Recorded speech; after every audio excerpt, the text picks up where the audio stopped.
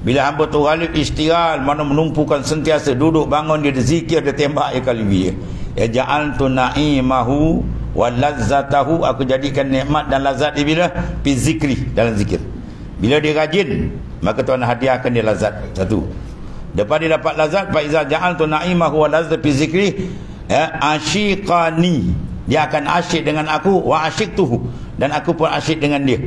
Ya, bila fa asyiqtani wa asyiktu rafa'tul hijab aku angkat dia ya tu proses. Dan dulu kita suruh banyak zikir.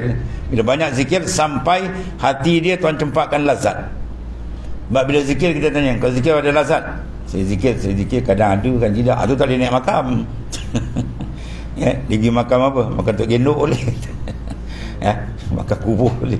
Dia makam bila kita tanya dia tengok macam zikir. Oh Alhamdulillah sedap puasa lazat. Itu makna dia dah pindah tu. Dia mana ada istighal sebab tu bila istighal kita baca warid kita tengok pertama apa kita tengok. Kalau baca warid enten, kertas dia zikir tu banyak tak? Tu penting. Bila dia banyak zikir bermakna dia istighal. Kalau tengok zikir 70 ribu dia apa 15 ribu mongkang tidur eh. dia tidur dan kelambu. ya, bila kita tengok zikir wah 100 ribu, 100 lebih bermakna istighal.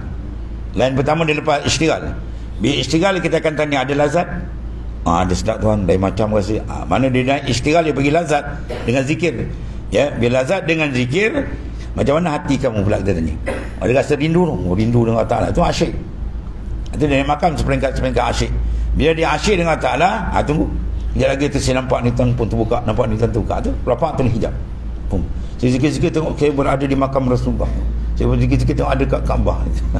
Tuan buka kan eh terbuka. Tung depan mati tung tung terbuka. Ni tu kaedah dia. Banyak istirahat dapat lazat dapat lazat dapat asyik dapat asyik rufi al hijab. Hijab akan terbuka. Ha, lepas tu lepas hijab terbuka apa? Sir tu mu'aliman. Aku sendiri ajar ni banyak ilham dia akan dapat. Pum. tu kaedah dulu kan eh, kita baca warid kena tanya dulu. Tengok mula-mula tengok apa? Kata zikir dulu. Ni zikir 20 ribu yang bongkang ni. Kena cek ya sebab banyaknya zikir itu menunjukkan ada istighal. Ada istighal. Bila istighal, dia akan pergi kepada lah, lazat, nikmat. Dan bila lazat, dia akan pergi pada asyik, rindu. Bila rindu, dia akan pergi pada terangkat hijab. Itu je keadaan.